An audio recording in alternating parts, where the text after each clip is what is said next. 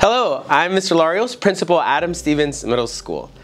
It may feel like only yesterday that you started middle school, but here you are now on your way to be a high schooler. This is a time to say goodbye and to think about your experience as a middle school student.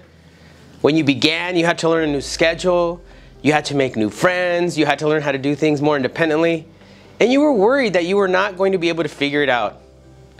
But over time, you were able to do all of those things you worried about, and you probably exceeded your expectations. And as you think about high school, I'm sure that some of these thoughts are coming back.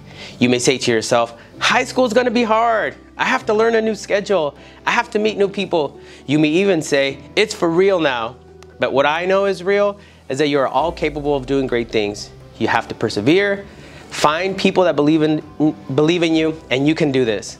And now I introduce you to your future principal. Come on over.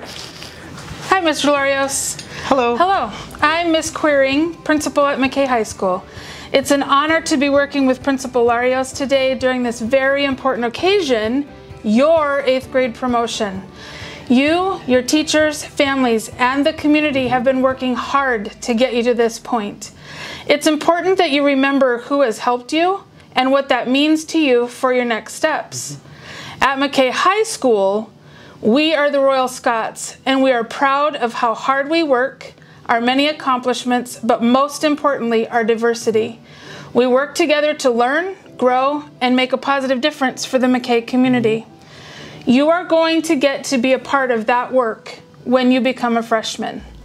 Until then, take time to celebrate the milestone with your family and friends, recognizing that your next steps will be to high school and beyond. You've got some big things coming up, mm -hmm. so be ready to learn, grow, and make a positive difference for your community. I'll see you in September. Go Scots!